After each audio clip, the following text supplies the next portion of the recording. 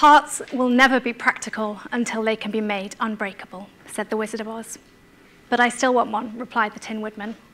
Your heart, it keeps you alive, it makes you love, it makes you human. In just one year, it will beat over 40 million times without time off for rest or good behavior.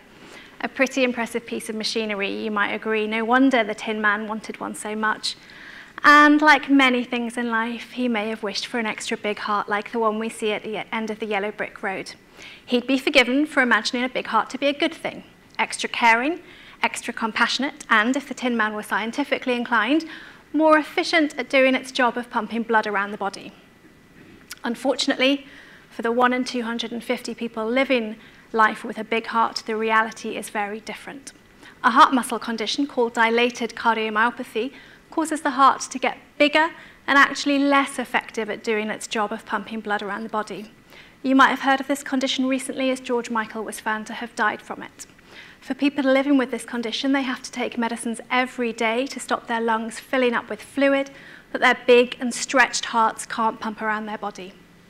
It remains the leading cause of heart transplants worldwide, And unfortunately, one in five people will be dead within five years of their diagnosis. So we urgently need better ways to identify who will develop complications of the disease.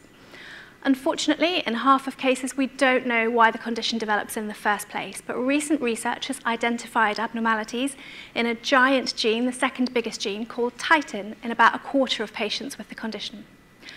Curiously, however, the journey along the yellow brick road is not straightforward, and not everybody who has the abnormal gene goes on to develop the condition. So your genes are inherited from your parents, but one theory is that factors in your environment affect how different genes behave differently in different people.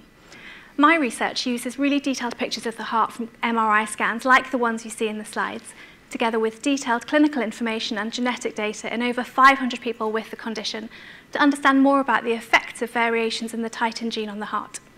We find weight differences in the hearts of people with the abnormal gene and without, which gives us clues as to how the disease might have developed. We find people with the abnormal gene have a threefold increased risk of abnormal and dangerous heartbeats early in their disease course.